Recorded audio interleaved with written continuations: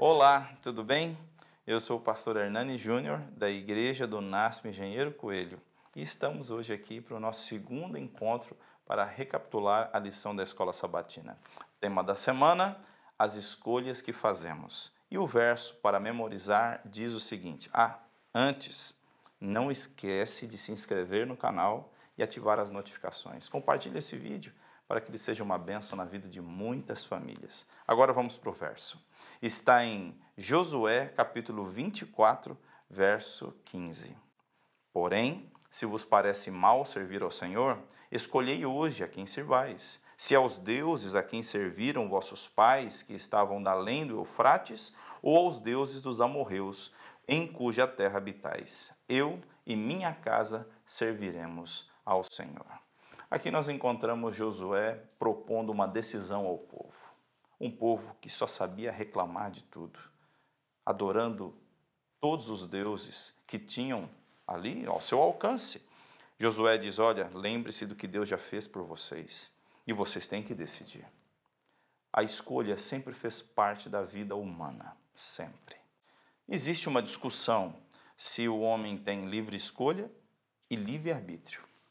Bom, se dissermos que o homem tem livre arbítrio, o homem pode determinar o que é certo e o que é errado. Na verdade, foi Deus quem determinou o que é certo e o que é errado. O ser humano tem livre escolha. Ele pode escolher entre o que Deus determinou ser certo e ser errado. Outras pessoas dizem que Deus determinou algo e vai ser assim para sempre. Quando nós vamos para a Escritura Sagrada, nós percebemos que não. Deus, ele predestinou todos para a salvação. Mas você é livre para escolher se aceita ou não a salvação que Deus planejou. É, são, é como se fossem os pais, que quando tem ainda o bebê na barriga da mãe, começa a sonhar e quer que o filho tenha uma vida feliz. Ensina esse filho na infância, inclusive, não perca os próximos vídeos, nós vamos falar melhor sobre a questão de pais e filhos. Então fica ligadinho aí no canal. Nós encontramos os pais sonhando um bom futuro para os filhos, mas nem sempre esse futuro acontece, porque os nossos filhos, eles têm livre escolha, e eles podem escolher entre aquilo que nós ensinamos ou o que eles mesmos quiserem escolher. Não dá para amarrá-los. E Deus não fez isso conosco. Ao contrário, Deus nos fez livre. Deus nos deixa claro o seu sonho, que é salvar a todos. Mas é você quem aceita ou não essa salvação. É você quem escolhe ser salvo por Cristo ou não. As escolhas fazem parte da nossa vida. E a lição vem trazendo pontos importantes para termos uma boa escolha, fazermos uma boa escolha. A primeira delas é a oração. Antes de tomar uma decisão, se coloque em oração. Pergunte a Deus, que já tem um plano maravilhoso para nós, sobre essa escolha. Seria a melhor escolha? Não. Converse com Deus. O segundo ponto é ouvir a voz de Deus. Em nossas orações, nós costumamos apenas falar.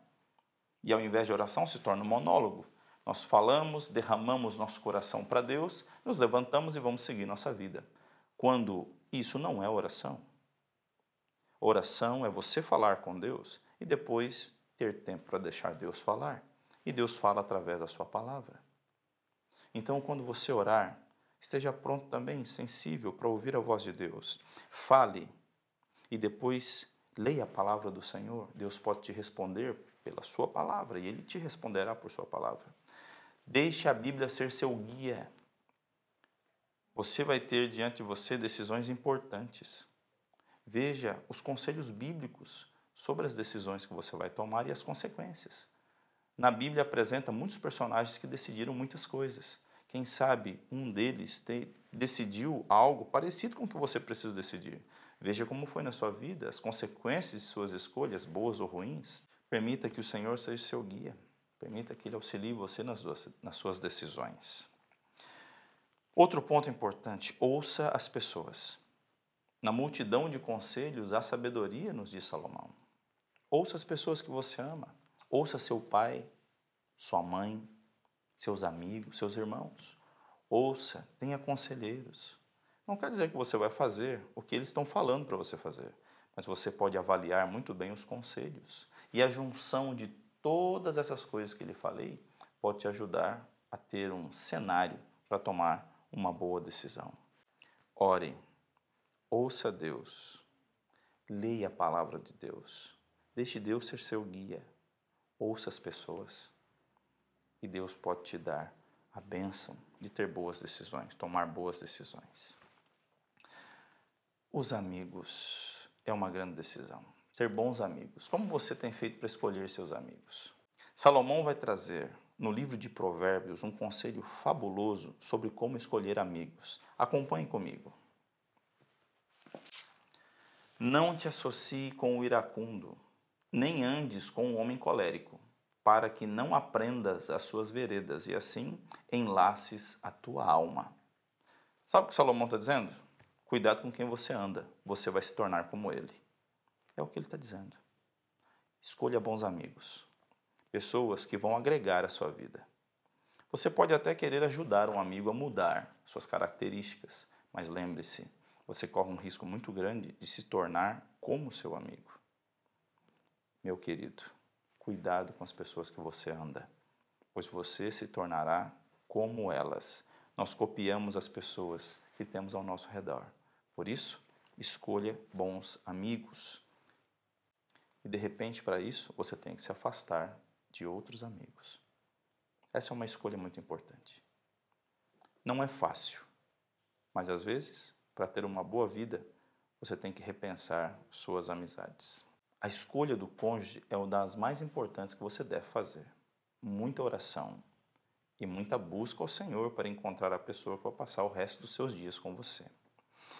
Tiago, no capítulo 1, versos 23 a 25, nos diz o seguinte: Porque se alguém é ouvinte da palavra e não praticante, assemelha-se ao homem que contempla no espelho o seu próprio rosto. Pois a si mesmo se contempla e se retira, e para logo se esquece de como era sua aparência. Mas aquele que considera atentamente na lei perfeita, lei da liberdade, e nela persevera, não sendo ouvinte negligente, mas operoso praticante, esse será bem-aventurado no que realizar. Veja que conselho maravilhoso Tiago está dando aqui. Sabe, alguns se encantam pelo que as pessoas falam. Isso é verdade, o falar encanta mesmo. Mas para você que procura alguém para passar a vida com você, uma vida juntos, não basta só o que diz, é necessário perceber o que se faz. Por isso, para você que procura alguém, para você que quer casar, procure uma pessoa que não só fala, mas que faz. Muitos homens hoje se sentem enganados, porque achavam que a sua esposa era de um jeito, mas depois que casaram perceberam que era só o que falava. Ela não fazia o que falava. Esposas também se frustram com maridos que fizeram promessas e falavam bonito, eram até da igreja, mas depois perceberam que as suas obras não condiziam com o que falavam. Então, se você procura alguém, cuidado para não cair no engano de atentar apenas para o que se fala. Conviva com a pessoa, passe tempo junto, ouvindo e vendo se realmente a pessoa faz aquilo que diz. E talvez você faça uma boa escolha, porque as pessoas mudam existem mudanças, as mudanças acontecem. Quero falar com vocês também sobre profissão. Como escolher a melhor profissão? Hoje as pessoas no mundo capitalista selvagem, poderia assim dizer, estão mais preocupadas com a profissão que vai dar renda, que vai dar dinheiro, que vai torná-las ricas. Quando nem sempre isso é bom. Nem sempre dá certo. Existem pessoas que têm boas profissões, que dão um bom dinheiro, mas não são felizes no que fazem. Porque o dinheiro não compra felicidade. A felicidade plena vem de Deus. É Deus quem dá a felicidade. Escolha uma profissão que faz o seu olho brilhar. Escolha algo que te faz feliz, que te traz alegria. É lógico que procuramos um bom salário, porque queremos ter uma boa casa, um bom futuro, mas se preocupe em encontrar algo no qual seu coração descanse. Existem aqueles que ganham bem, mas se entristecem quando têm que começar a trabalhar e ficam felizes quando acaba o horário de trabalho.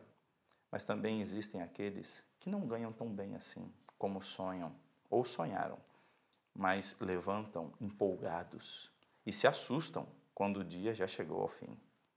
Meu desejo é que você seja uma dessas pessoas que ama o que faz, que ama. Salomão nos dá um conselho, e o conselho é: no final da vida, tudo é vaidade. Então escolha bem, escolha algo que te faz feliz, escolha algo que preencha o seu dia e te traga alegria. Não escolha pelas finanças, escolha sim pelo seu dom, escolha pelos seus talentos e você vai perceber que Deus vai abençoar você. A lição de hoje falou sobre escolhas e eu espero que você esteja agora mais preparado para tomar algumas. Lembre-se, a oração, o estar sensível a ouvir a voz de Deus, o estudo da palavra de Deus, o aconselhar-se com seus familiares, são os primeiros passos para uma boa decisão. Hoje terminamos por aqui, mas antes eu quero orar com você. Oremos. Grande Deus, ajuda-nos, Senhor, a tomar boas decisões. Ajuda-nos a entender a nossa dependência do Senhor. Nós só conseguimos enxergar o hoje, mas o Senhor já enxerga o além. Por isso, Pai, guia-nos e nos dá sensibilidade. Abençoe esse amigo que nos acompanha, dirige a vida dele e ajuda-nos a tomar boas decisões em nome do Senhor Jesus Cristo. Amém. Que Deus te abençoe e não se esquece de se inscrever, ativar a notificação, compartilhar esse vídeo. Nos vemos no próximo encontro. Até lá.